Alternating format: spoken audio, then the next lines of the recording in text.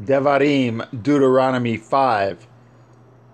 And Moshe called all Yashara'el and said unto them, Hear, O Yashara'el, at the commandments and at the judgments which I speak in your ears this day, that ye may learn them, guard them, and do them.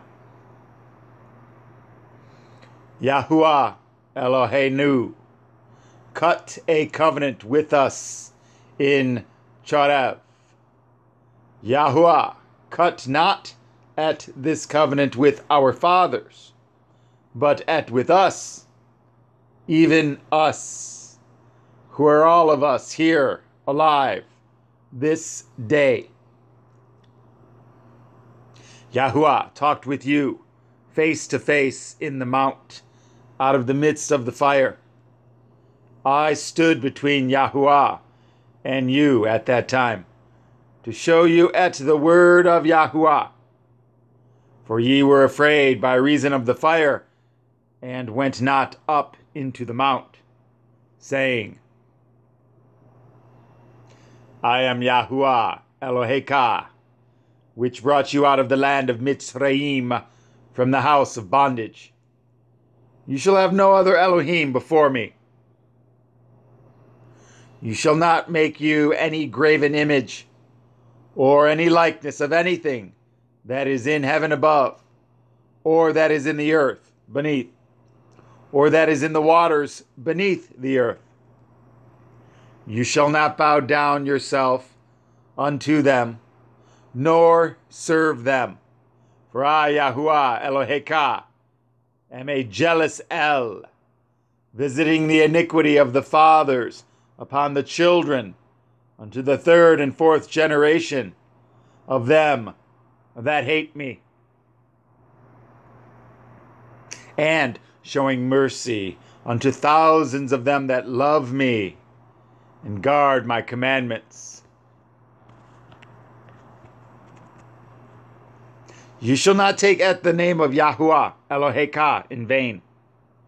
Et, for Yahuwah will not hold him guiltless that takes at his name in vain. Guard at the day of the holy Shabbat, as Yahuwah Eloheka has commanded you. Six days you shall labor and do all your work. But the seventh day is the Shabbat of Yahuwah Eloheka.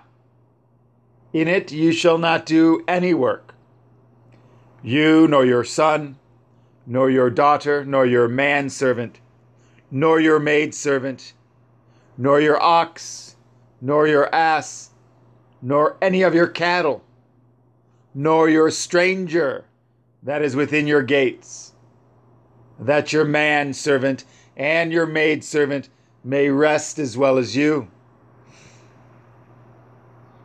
And remember that you were a servant in the land of Mitzrayim, and that Yahuwah Eloheka brought you out thence through a mighty hand and by a stretched out arm. Therefore, Yahuwah Eloheka commanded you to observe at the day of Shabbat. Honor at your father and your et mother, as Yahuwah Eloheka has commanded you, that your days may be prolonged, and that it may go well with you in the land which Yahuwah Eloheka gives you. You shall not kill, neither shall you break wedlock, neither shall you steal, neither shall you bear false witness against your neighbor, neither shall you desire your neighbor's woman, neither shall you covet your neighbor's house, his field, or his manservant, or his maidservant, his ox, or his ass, or anything that is your neighbor's.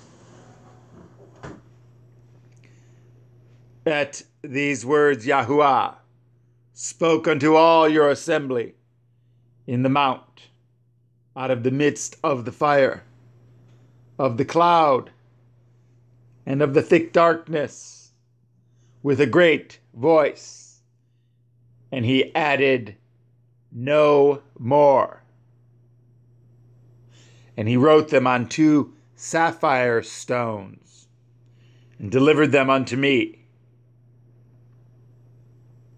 And it came to pass, when ye heard at the voice out of the midst of the darkness, for the mountain did burn with fire, that ye came near unto me, even all the heads of your tribes and your elders.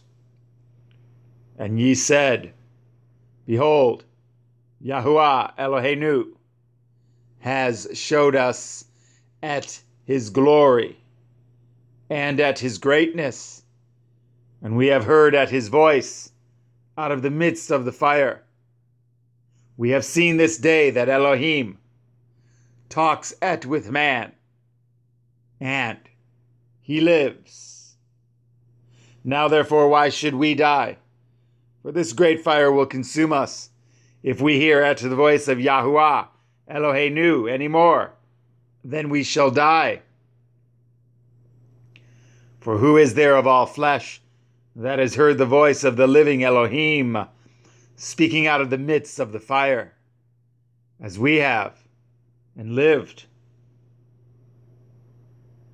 Go near and hear at all that Yahuwah Eloheinu shall say, and speak you unto us at all that Yahuwah Eloheinu shall speak unto you and we will hear it and do it.